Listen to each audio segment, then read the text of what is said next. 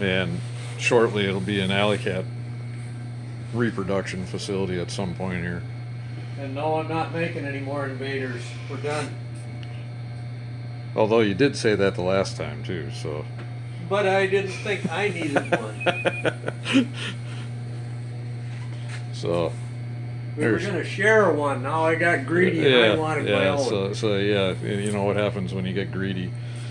Um, but you know, so that was number one. Here's the other one. This is somebody else's.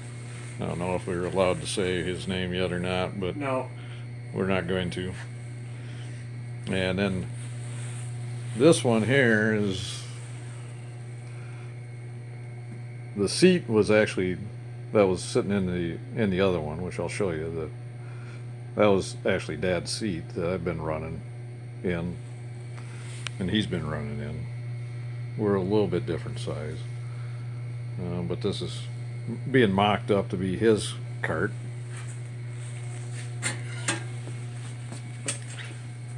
and uh, I just sat in it this morning so we can get an idea what the fairing's going to be like and uh, see what uh, happens with my knees and stuff when I sit down in it. Sometimes your knees are hitting these fairings. You need need to get the height right on them so that you're not making your knees black and blue, bagging off the fairings. Yep. So, yeah, this this one here is the driver's a little bit bigger than us. Thicker in the thighs. He's probably I don't know. He's probably six foot, six one, somewhere in there. Um, Another 30 pounds heavier. you know, he's he's bigger than we are. I'm probably the smallest of the group, easily. Well, I But ran his steering shorter. uprights an inch higher than uh, what I have on the other one to allow him a little more room with his thigh area Yep. in the steering wheel.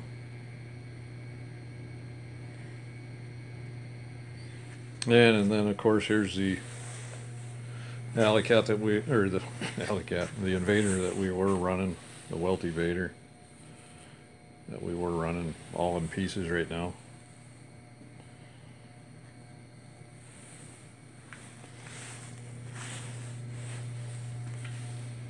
So One of the problems building all this stuff is you got to have a lot of pieces around, parts, and then you have a cart that's together and it works hangers. perfectly, and then you take and tear it all apart. So next spring you get to do it all make over all your again. adjustments all over again.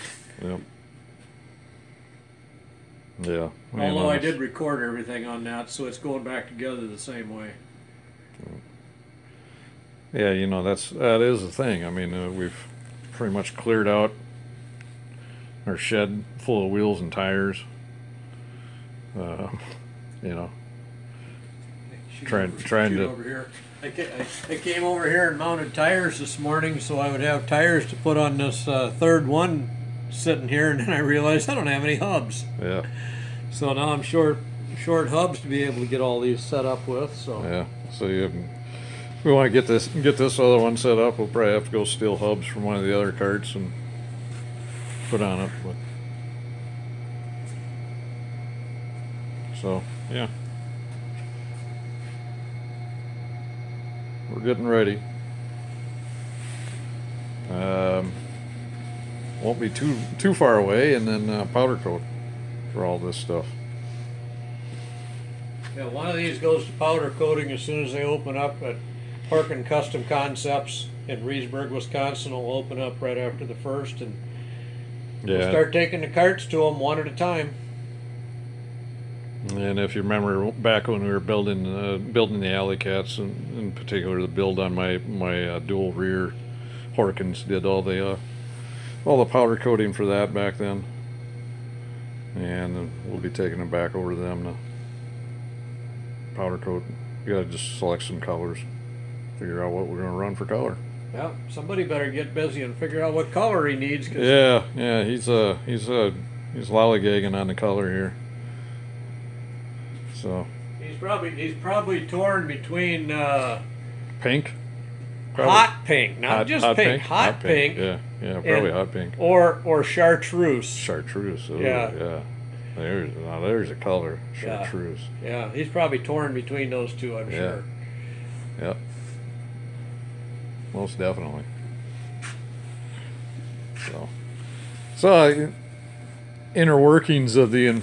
Yeah, he probably he probably wants his cart to be that color. yeah, yeah, no kidding. Well, my, my camera's kind of washed out, but that's you know You know. that's that, that fluorescent ugly Menards color.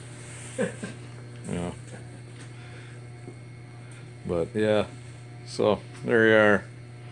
The inner workings of the Invader factory, or the Welte in Welte Vader factory.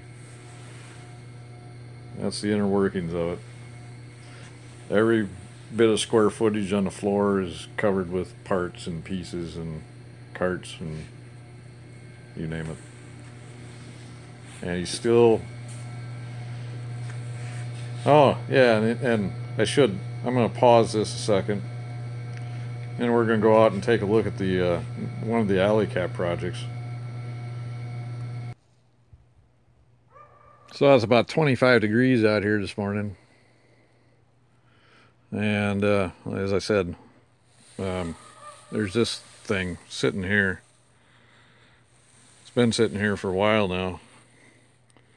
Uh, in about a week or so, that's probably going to go out and go into the garage. Uh, we get the invaders be over in powder coat. This thing's going to get in the garage, put on the table, uh, start work on it, and Chuck needs to send us a bunch of parts. So if you're out there, Chuck, and listening, um, you need to send some parts because right now, all he does is he throws junk and uh, wood and scraps and firewood and crap on it. So I think there was a mouse nest on it a little while back.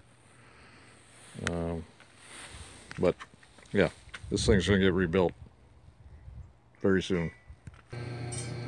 Okay. So, If you thought we were joking about using EMT and building a complete frame, uh, yeah, I wouldn't want to race it because it wouldn't be very strong. but there's the right side bent out of EMT, so there you go, guys. Little secret I wasn't going to tell anybody, but I guess now I got to fess up. well, you know, we did the bender, or we will be doing a bender uh, video here shortly. JD squared bender Yep, video. on the D- JD squared, um, and showing that. But uh, this is this is one of the things that we do for mock-up purposes. I didn't want to ruin that uh, chrome moly tubing that chassis made out Yeah. of because it was like seventeen dollars a foot by the time I ended up paying the shipping to get it here. So I could go to the hardware store buy that uh, one inch EMT, which happens to be inch and an eighth. Use my tubing bender, and then I burned through a piece and a half of that, making all the bends and getting them where I wanted them. Yep. Yep. That's just the, how you gotta cheat on some of this stuff. So there you have it. Inner workings of the Welte Vader, Welte Alley Kat factory. Cheaters concept. Uh, yeah, I think uh, GTM Enterprises. Actually, this is called? Cheater's Cart Shop. That's what it's called. I answer the phone with Tom Kelly that all the time. Cheater's Cart Shop. Finish Yeah. first or finish last. It's your choice. Anybody wanting to know who Tom Kelly is? Well, he's a GTM Enterprises. Give Tom money, Enterprises.